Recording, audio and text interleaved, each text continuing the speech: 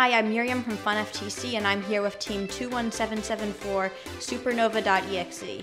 This team had a very deep run in the Chesapeake Championship, making it all the way to Division Finals, and they also have a very unique robot. Let's jump into it on Behind the Bot. This video on fun is brought to you by viewers like you and also in partnership with the following. AndyMark is your one-stop shop for all your robotics competition needs. Celebrating 20 years of quality robotics parts and superior service, AndyMark employees have over 200 years of first-team experience. From mechanical and electrical products to tools and hardware, head on over to AndyMark.com for high-quality and affordable solutions. Support Fun's content creators when you sign up for a membership on YouTube Join. You'll get access to special perks like emotes, loyalty badges, and Fun members will even get early access to our scheduled videos and more. 100% of this revenue will go back to our correspondents to help recognize their efforts. Click the join button in any YouTube video to pledge your support. All right, Isaac, so can you please start out by talking about how your team approached the game this season? Yeah, so the first thing we did this season was we conducted a points analysis. We needed to determine what we thought would be the best, uh, most and most valuable things to accomplish because we knew we wouldn't be able to do everything with limit with limited time. All right, so that makes a lot of sense. So, Vanufa, do you want to start off with some of the decisions you made with that? Maybe starting off with your claw. Sure. So, before we actually got into designing, we all sat down and we took some time to just draw out our ideas, what we think to do. Active intakes are great, but they jam a lot. So we wanted to make something as fast as one, but without the side issues. So here we have our here we have Scorpio's claw. So our claw has it uses servos on each side individually, so it could so it could um move each side by itself. Yeah. And underneath the claw, underneath it, it has it's in the shape of a pixel. And this is to force the pixel to against the aligner to force it into position. And that really helps us grab tightly. So then our claw also has a flap on top of it. So this flap is helpful in many different ways. For example, in auto, our flap helps us intake from the stack without knocking it over. And this is super helpful because we don't want to run over a pixel because that'll create a lot of problems later on. The other thing our claw, our flap does is that originally, if you're just holding a pixel with something like that, it can tilt up and down. Our, our flap prevents that and allows for a better and tighter grip. All right, and can you talk a little bit about the iterations um, that your claw has gone through throughout the season?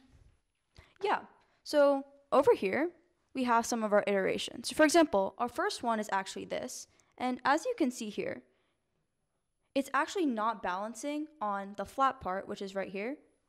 It's not balancing on that, and instead it's balancing on a curve. This is super unstable, and this aligner actually has no way to mount itself and the holes aren't even the right size. So then we moved on to make some more iterations. For example, this is our second one. This now you can see it would balance on pixel. It would balance on the flat part, making it more stable, but the screw extrusions on the bottom were a small issue. So then we have this, which has an extrusion on the bottom, and that will allow the screw heads to be fine, and then also intake.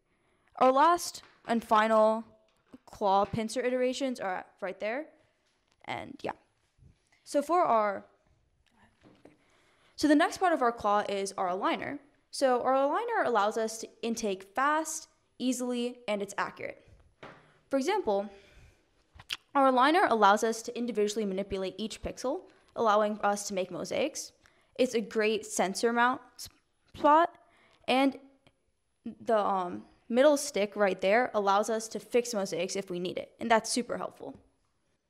All right, and then I you see so you talked about all these iterations. So what process did you have to go through to determine uh, what iterations you needed to make further? Yeah, so we started off CADing on Onshape to see what we can do, like get our ideas out there. Then we printed them using a 3D printer and regular PLA filament. And then we tested, and then as you can see here, these pincers are actually broken, and that was a part of our test process. because we want to know is this strong enough to withstand a hit? Because our claw is going to be right at the front of our robot. So then we kept doing that and we kept finding problems and then solving them to get our final iteration. Great. And now that your pixels are in your robot, can you talk a little bit about how you get them onto the backdrop? Yeah. So first, this whole assembly is connected to the slides using two Axon servos, Axon Max servos. Raise slides. Okay. So they're mounted right here and allow the arm to swing up and down.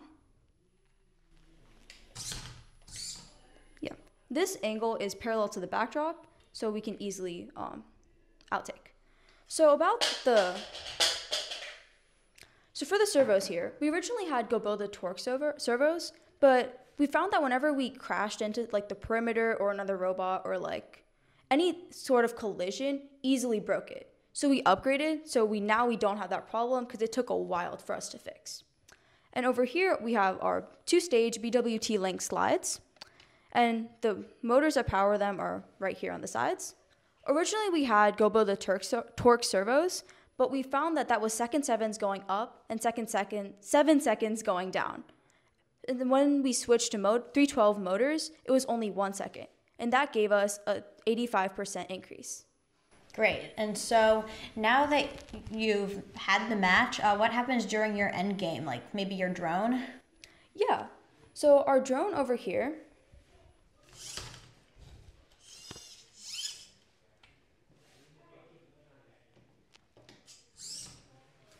It uses tubing right there, as Isaac did, to pull it back. And this is the 3D printed part that will push and launch the drone. So if I put that in right here, this part will launch the drone. And then to hold, to tension the servo in, we also use tubing right there. And the good thing, the nice thing about our drone is that it has an inbuilt cover, so the drone won't fall out. Because for our previous iterations, there was no cover, and like it was a real struggle to keep it in the right spot. And I noticed that you launched your drone sideways. Is there a reason for that? Um, the biggest reason for that was the space and the width. Like, for example, one of our old drone iterations over here that uses that uses rubber bands to pull would be way too large to like mount right there and it would extend over the 18 inches limit and this is another one which we had where it would slide using springing the sizing for both of those was way too big and we found that we couldn't do that and for this one mounting it like 90 degrees turn, the servo would stick out and then, yeah. Yeah, and then after your drone is launched, uh, how do you hang on the rigging? So we use a lead screw here to hang and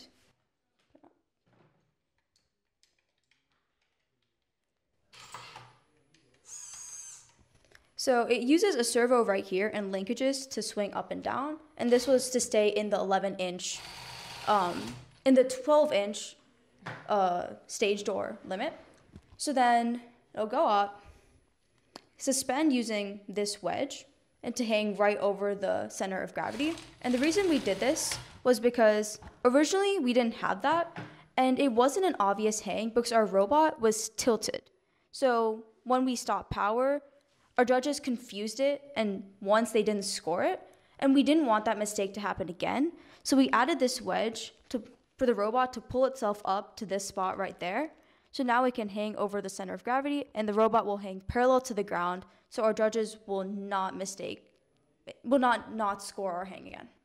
Great. And now I'm sure equally as impressive as all of your hardware is your software. So Isaac, do you want to talk to us a little bit about that? Yeah. So uh, so this year was was pretty hard for our drivers, especially since having an act having a passive intake made it pretty hard to um, intake pixels. So our biggest driver enhancement this year was probably this. Uh, it's it's kind of hard to show. Um, it's kind of hard to show right now if, without the robot moving, but when we go go in, the the, it, the claws automatically close, making it a lot easier. However, a problem we were having with that is actually that when is actually that when we would was that when we would release was that when was that when we would release it wouldn't it would, wouldn't release because it would would immediately try to close again. We were able to we were able to solve this by just by making it so when we by when we like uh, drop our pixels when we're when it's up we don't we don't have we don't use that system. The next driver enhancement we have also also relates to the claw or also relates to pe- pixels. Because because it was hard to see, it was hard it was because of the robot and the wing being all the way across the side it was pretty hard to see when we would have pixel when, when we when we had pixels intake intake. When we had successfully intaken pixels. We have the LEDs on the back to indicate what pixels we have we have different we have different we have different colors for different things so we have we have white for both pixels uh, we have we have purple if we only have uh, if we only have uh, if we only have a pixel on the left side of our claw, and we have yellow if we only have pixels on the on the uh, right side of our claw. Uh, we actually chose these colors because that's where we preload pixels, uh, and that that's how we preload pixels in auto. The the the next driver enhancement we have um, is is for is for our lift we were having a we were having a hard time making sure we had consistent uh, drop positions, and we were having a lot of bouncing. Uh, so to, so to help with that, we have preset positions. We our, dri- our drivers go to the same positions every time. However, we found that sometimes we wanted more precision, so we actually do we do allow for manual control over the lift, which which also which also helps if we disconnect during um, during a match or something because we have a button that will reset the encoder counts manually to get us back to our our our uh, proper preset positions. Our final our final driver enhancement is for is for moving around the field, the drivetrain itself. Um, we actually have our max speed fairly low. We have it we have it at 0.7. Um, uh, this was to allow for like finer control by default. Uh, we have we, we have two or the two triggers for driver one. Uh, what they do is they can override the max speed and increase it, and the second one will and the second one will lower lower the speed. This allows for finer control than just the than just the joysticks alone will allow. Great, and so now you have a lot of driver enhancements. So could you talk to me about uh, what uh, sensors you need in order to use those driver enhancements? So the main sensors we have are, are these. These are Rev V3 color sensors. However, we only use them for we, we only uh, use them for the distance functionality. The other sensor we have is we use the built-in motor encoders, coders for the lift. Uh, and our and our and our final sensor is not actually for driver enhancements, but we use it um, in auto. Uh, our, our our odometry pods. So we so we use the go we use the goBILDA odometry pods, um, which we have found to actually be quite accurate. Uh, we, we use this in, we use three wheel odometry in conjunction with uh, with the Roadrunner library uh, for mo- for, for motion profiling and pathing. So our autonomous is um our autonomous is a uh, uh, on the on the near auto it is a 50 point auto where we where we do our detection which we, uh, we, so we use this camera here, which is we init- which we found initially we were testing with the Logitech C270s, uh, I believe. Um, but however, we found that we couldn't properly see all, all, the positions as well, so we had to switch to a wider angle camera.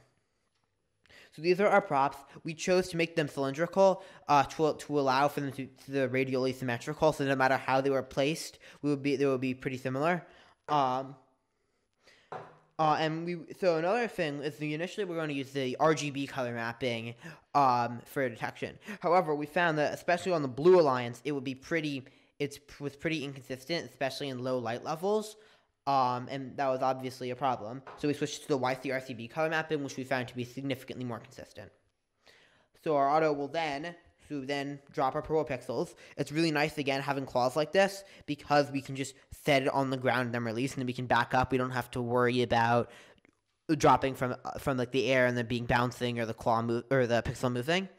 Um, we then go back uh, and then we um, and then we and then we uh, drop our yellow pixel, and then park. We can actually park on either side of the backdrop, and we determine this by we have a JSON file that we can select during the beginning, because our main philosophy behind our autonomous was to allow for it to work with as many people as possible. On our far auto, we do a bit more. Our far auto is actually a 55 point auto. It's the same, the beginning starts the same. However, we, we utilize, we are able to utilize having, uh, utilize our claw to pick up an additional white pixel where we would have it. What, if, what the flaps allow us to do is prevent us from accidentally intaking more than, more than uh, two, uh, two pixels at, at once, or more, more having a total of more than two pixels. So this prevents this prevents penalties, which could be a problem using other systems that could accidentally intake more. Um, we then go under the truss. We either they either go under the truss or under the stage door again, depending on what JSON file we select. And then we drop our yellow pixel, and then we can park independently of the other decision of whether we go under the stage door or truss. Uh, and this flexibility just this flexibility just allows our auto to work with as many people as possible uh, which we found to be one of the biggest things because because while having a higher scoring auto is great, uh, you're always going to be able to get more points combined than just one person solo. All right, so thank you, Team 21774. Uh, this has been uh, a really cool robot. This video on fun is brought to you by viewers like you and also in partnership with the following. AndyMark is your one stop shop for all your robotics competition needs. Celebrating 20 years of quality robotics parts and superior service, AndyMark employees have over 200 years of first team experience. From mechanical and electrical products to tools and hardware, head on over to AndyMark.com for high quality and affordable solutions.